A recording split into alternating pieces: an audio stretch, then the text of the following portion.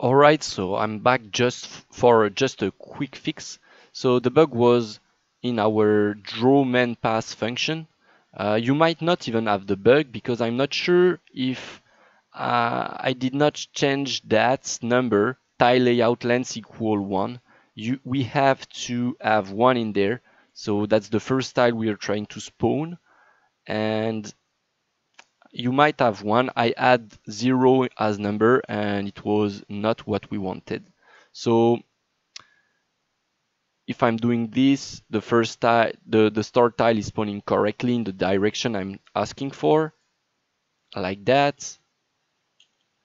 And then if I'm asking for a force tile at the start of the dungeon, which is a corridor, like that, we're going to hit play we do have a corridor at the beginning and we do have our start tile spawning in the right direction.